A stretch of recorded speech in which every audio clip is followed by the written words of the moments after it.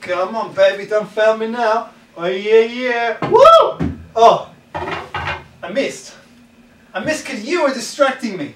Guys, how are you doing? It's certainly been a while. Um, been a lot of current weirdness lately around the world, but you know, soon I'll start making videos again. I had a few issues to deal with, but soon we'll be getting back to par, back to form. Have a good one and enjoy this video. Woohoo! like, what's with the camera? anyway. Woo! Top quality, Brazilian. This is gonna be the real deal, people. Finally got my hands on this.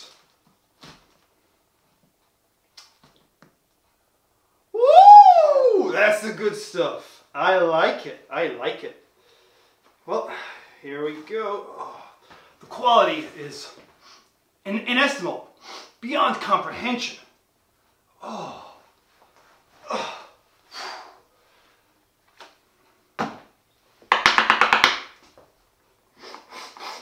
Oh, yeah. Oh, I feel like a new man.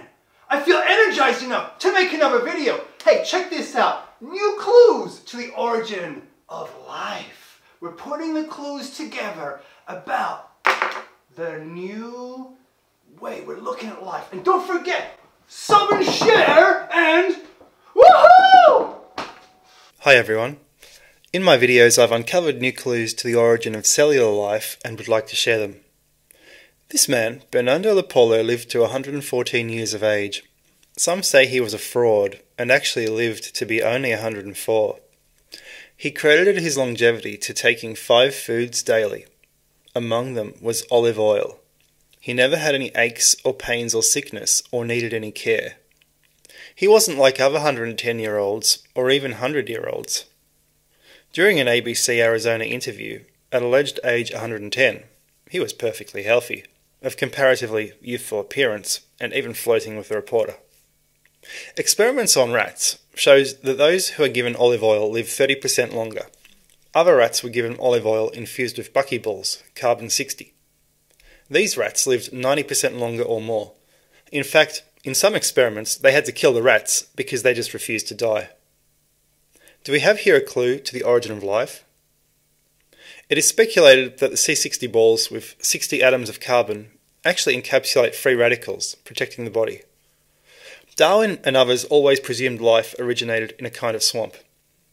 In a 1980s book, Seven Clues to the Origin of Life, the author Graham Cairns Smith claimed to have found the ultimate cure to early life in clays. He said the alternating charges of the structures would have served as a kind of template for the initial assemblage of rotational genetic codes like DNA. He said that DNA has left no clues as to its origin because it's assembled by a protein. A protein is a biological workbench or tool used to assemble things. It is also created by DNA code. So, it's like the chicken and egg conundrum. But it must have originated from somewhere. Non life, we presume. In the previous video on black holes, we saw that the blackest substances are known as carbon nanotubes. These are found in oil wells, in burnt wood, in arc lamps, everywhere. It's the same story with buckyballs. Scientists have recently found that if they add a metal catalyst, nanotubes encapsulate DNA, like an onion. They found that single wall nanotubes are formed in the presence of a catalyst, and multi wall nanotubes don't even need a catalyst, just carbon and high energy. We know that some people actually ingest charcoals, hoping that the charcoal will absorb toxins. These charcoals contain nanotubes and buckyballs. Charcoal absorbs all kinds of things.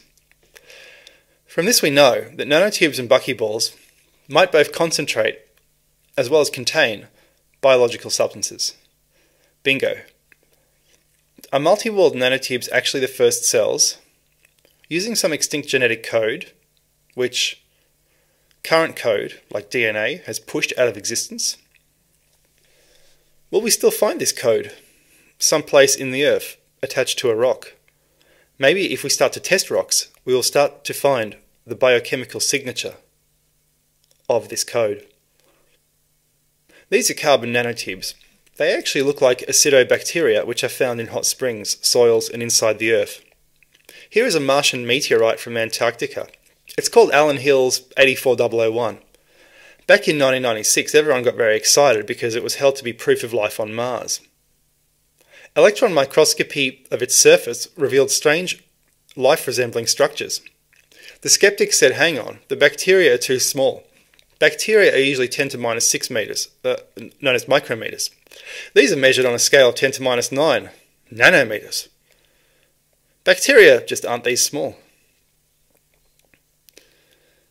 Actually, these are the size of carbon nanotubes.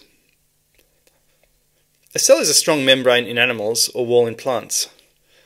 The brick structure allows plants to grow tall like skyscrapers. Could multi-wall nanotubes or even buckyballs have encapsulated the first life as they are able to both absorb and concentrate biological nutrients? This is the last science vid for a while. I promise I'll get back to the regular archaeology videos soon. I can't help making the science videos because when something pops up and I think it's important, I like to connect the dots and then tell people about it immediately. What do you think? Leave a comment, share the video, thumbs up, sub, bell. I've got books on Amazon and check my Patreon and Merc. Your support and viewership is appreciated. Cheers. Well, yeah. Well, people, um, I've written not just two books that I keep talking about, but actually five. Um, I wrote this back in 2015, Ancient Egyptian Spells Not to Try at Home. Now, uh, what I noticed was there are two um, translated manuscripts which are ancient Egyptian spell books, straight from ancient Egypt. And they were circulating uh, in the academic world, but I thought, wow, this could be really useful for people who are fascinated by how the spells work and how you can make stuff um, or, or what, what, what hymns or whatever to, to use uh, to do Egyptian spells. Although there is a disclaimer, try at home, I'm not a magician or anything like that, just for historical interest, but you know, it's very interesting. Um, so what I did was, there was no spell index. The index was based on geographical names and useless stuff like that. So I thought I'll add a spell index. So I added a spell index to it, an introduction. Uh, I did it under a different name, Alastair Blackwell, because I thought I don't want to ruin my reputation just yet. Um, and I run a workshop business, so um, I've written about public speaking is easier than you think, and also success is easier than you think. It was running a workshop business until this hysteria took over, but hey, there you go. There you go. Check that out on Amazon. That's really cool as. Um, yeah. So I've got lots of stuff on Amazon. There you go. Have a good have a good one. Come on, baby. Oh yeah, yeah. Oh yeah. Woo! Yes. No. Guys, there's been a lot of crap happening lately with all this crazy stuff around the world. I just wanted to wish you a very good day. Yeah!